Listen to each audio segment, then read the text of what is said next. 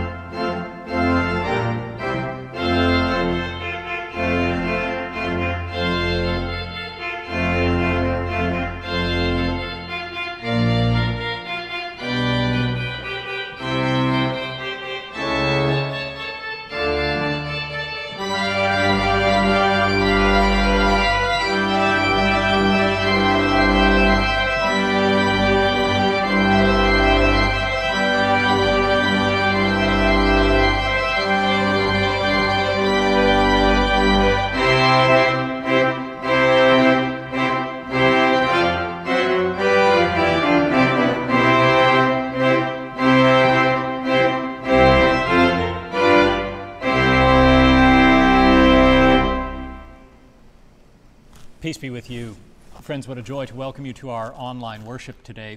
If you'd like to join us in person for worship on Sunday mornings, we celebrate the Holy Eucharist at 8:30 and 10:30 a.m. with Bible study in the parish hall at 9:30 a.m. We also gather for worship on Wednesday mornings at 10 a.m. Don't forget to like this video and subscribe to our YouTube channel so you never miss any of our content.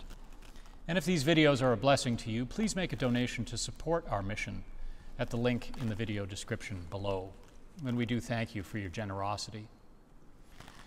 Our reading from Holy Scripture for today is from the letter of Paul to the Philippians, chapter 4, verses 4 to 9. Let's hear these holy words together. Rejoice in the Lord always. Again, I will say, rejoice. Let your gentleness be known to everyone. The Lord is near. Do not worry about anything, but in everything, by prayer and supplication with thanksgiving, let your requests be made known to God.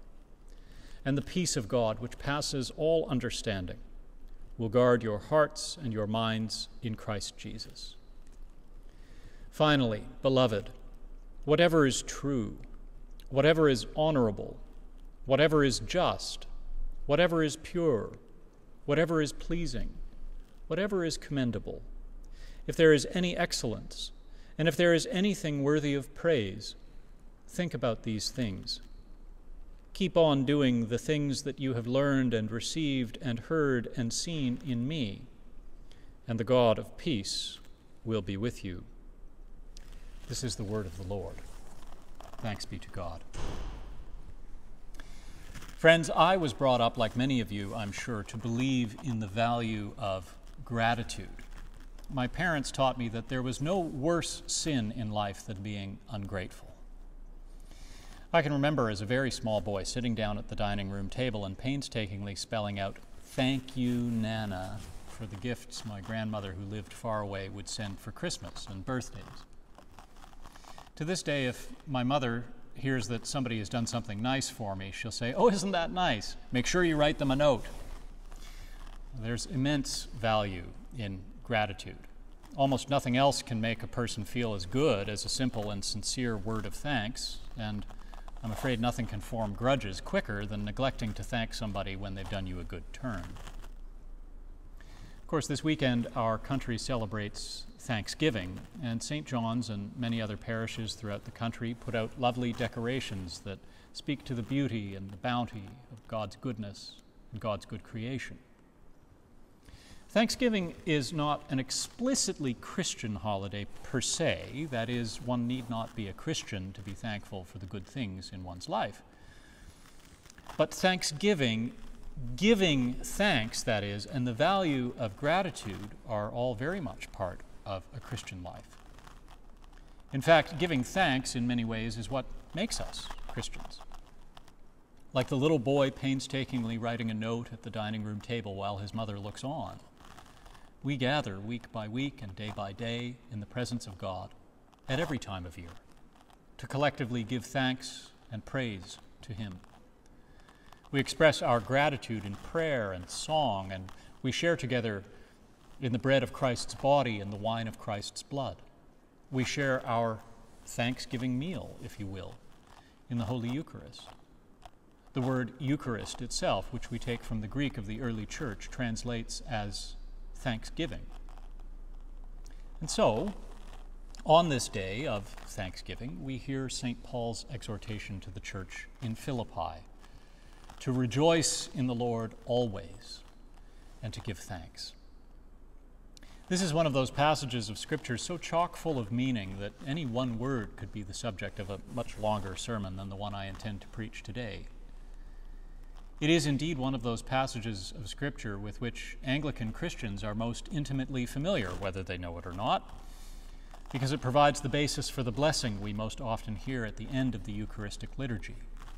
The peace of God, which passes all understanding, keep your hearts and minds in the knowledge and love of God. Now, who says Anglicans can't quote Scripture? It's one of my favorite passages in the Bible and one I turn to often in anxious times in the world and in my own life. This is one of the parts of the Bible that I will turn to almost by muscle memory, reminding myself of the holy hope to which I am called. Rejoice in the Lord always. Again, I will say, rejoice. Let your gentleness be known to everyone. The Lord is near. Do not worry about anything, but in everything, by prayer and supplication with thanksgiving, let your requests be made known to God. Friends, here the apostle reminds us of that most essential Christian hope that the Lord is near.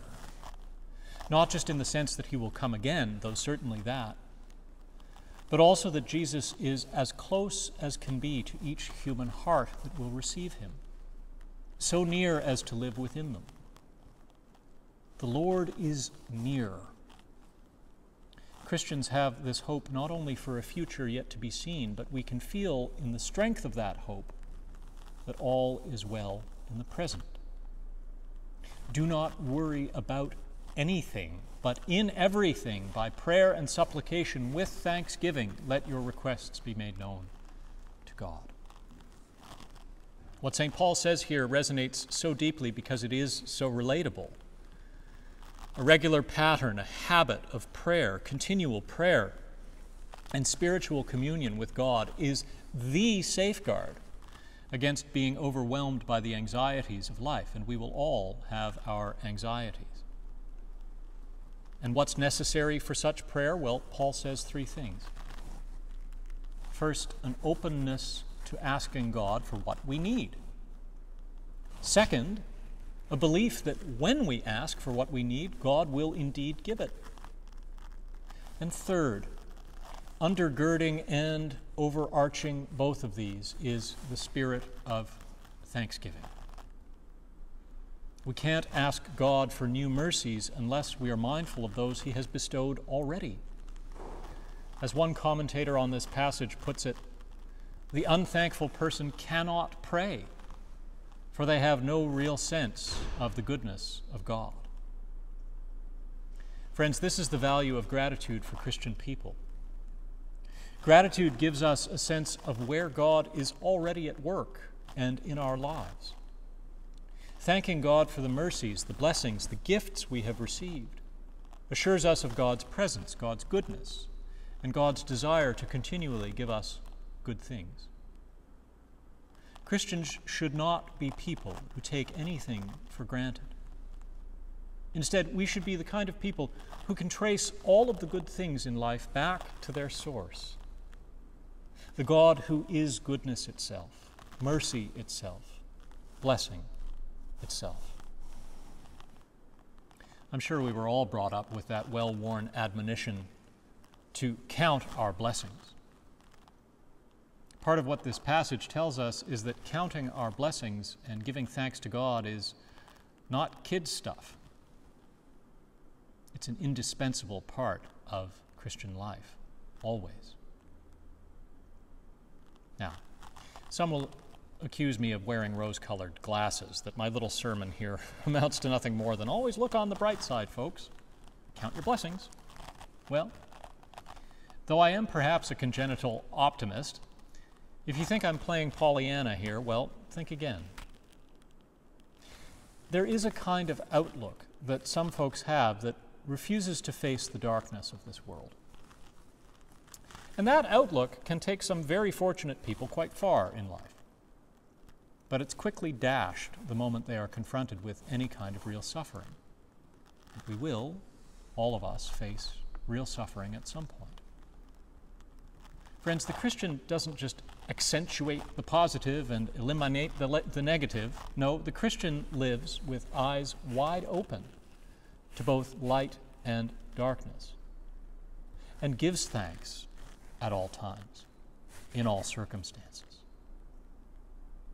This is not possible with simple optimism. It is possible only when we have understood that the goodness of God, laid bare in the life, death, and resurrection of Jesus, transcends all that can cause us distress.